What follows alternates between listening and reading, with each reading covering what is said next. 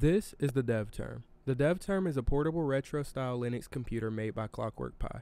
Packed with a Raspberry Pi CM4, a full QWERTY keyboard with gamepad buttons, this crazy long screen, and let's not forget that beautiful thermal printer. This makes the dev term the perfect device for on the go coding and tinkering. This unit was sent to me for review by Alex at Clockwork Pi, so let's jump right in. After receiving my device, I got started right away with putting it together. Everything was so neatly packed and organized that it was almost too easy and everything snapped into place quite well. It was just the LCD took a little bit of extra force. After connecting everything up and attaching that beautiful thermal printer, I can snap the side knobs on and put the batteries in. I spent some time setting everything up and customizing it to my liking. I even downloaded PyApps, Doom, Minecraft, Celeste, and even Pico 8. So who is the dev term for? I'm a game developer and I'm currently using the Unity game engine to develop my first Steam game. It's about a frog working multiple jobs to pay his child support. And if you would like to, you can wishlist my game on Steam with the link down below. Anyway, about a month ago I was scrolling on YouTube watching videos about Pico 8 as I'd never heard about it. And that's when I saw it, the Pocket Chip. A portable Linux computer that fits in your pocket and it runs Pico 8. That's exactly what I was looking for. Over the year I had found myself having less and less time to develop video games. That's why it's always been at the back back of my mind to find something easier and more portable than a full desktop. I got a laptop thinking that portability was what I needed, but as the name implies, the pocket chip fits in your pocket. So I hopped online and I ordered one. Once it arrived, I had a blast playing with it. Despite the hurdle of getting used to Linux, it wasn't all that bad. But literally two days later, I kid you not, the pocket chip was stuck in a login loop. Despite my efforts, Next Thing Co. went out of business a couple of years ago, and the only way I'd be able to get back in is if I reflash it, but that's for another video. So what makes the two different? Well, for starters, the dev term is portable, but not as portable as the pocket chip. The dev term is this buttery, smooth, functional device, while the pocket chip, on the other hand, feels super tough and bare. This even shows through when trying to type on this thing. And without modding it, you're not going to really have a comfortable typing experience. It feels like each press takes the strength of 20 men, which is way more force than I want to apply if I'm going to be coding on this thing. On the other hand, the dev terms keyboard feels like a regular old keyboard. I'm not going to lie and say it feels anywhere close to my RK or mechanical keyboard, but I did write the entire script for this video using it, so take that as you will. There are many uses I've found for the DevTerm, with the first one being gaming. After loading up Pico 8, I'm not going to lie, I was kind of overwhelmed with the selection of games they had. I found found myself randomly loading it up to play a few games and then turning it back off to continue with my day. And being able to jump into the code feels really nice to the game developer side of me.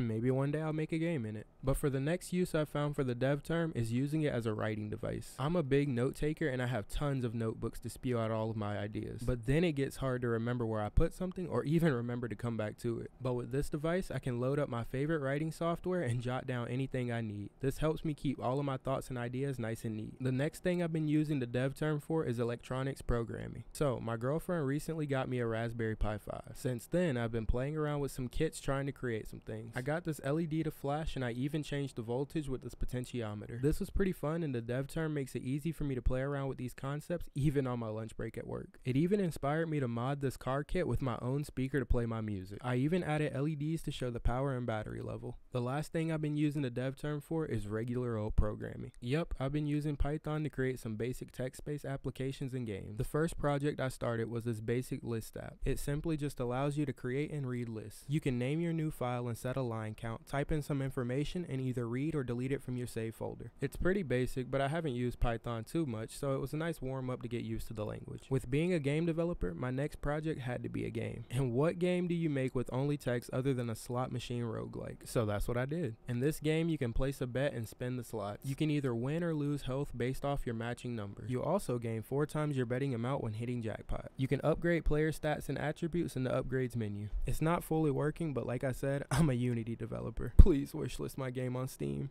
My final thoughts on the dev term would be that it's an awesome device if you want some power behind your portable coding machine. And even then, you can just get a laptop. This gives you a bigger screen and a more functional OS for anything you would need. So why the dev term? The dev term is a retro style mini computer. It's built for hackers and people who like to explore the interesting parts of technology. And let's be honest, what other device looks this cool? What other device can you take apart and add your own attachments? And what other device has this cool ass thermal printer that can print so many things? The dev term is for people who are enthusiastic about computers, tinkering, and overall cool shit. It's not the goal of this video to convince you why the dev term is so cool or else you wouldn't be here in the first place. It's to give you a closer look at the things a game developer like me has been using it for. I hope this video gives you a closer look and a better understanding of the capabilities of the dev term and the incapabilities. But thanks again to Alex for sending me this awesome little device for review. And I look forward to checking out more products by Clockwork Pi in the future. And if you guys would like to check out the dev term, I put a link for it in the description. And if you enjoyed this video or found it helpful at all, be sure to leave a like, comment, and subscribe as it does help me out a lot. Bye guys.